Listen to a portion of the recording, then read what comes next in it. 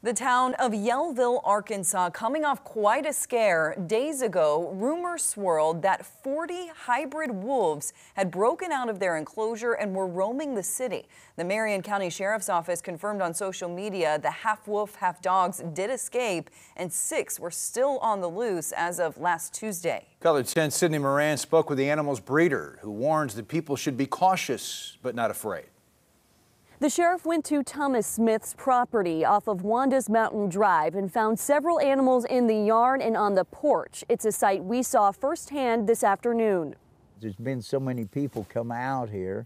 They visited the wolves. They've uh, uh, had them jump up on them, give them kisses. Thomas Smith tells me he's had wolves for 40 years. He's continued to breed them in Arkansas and currently has 26 animals. They are 67% uh, wolf, 27% Alaskan Malamute, and 6% Husky. When the news of wolves running loose spread, the sheriff went to Smith's house. What actually happened was uh, they got scared and they broke out. The sheriff posted on Facebook saying after they escaped, all but a few returned. When the sheriff was here, they just laid down by the truck and went to sleep. The post told residents if the animals cause anyone trouble, they should be disposed of, but did not mention any specific problems the animals have caused. Smith believes some of the animals that escaped have died. He says if people see one, they should approach with caution but not be afraid. They're my kids.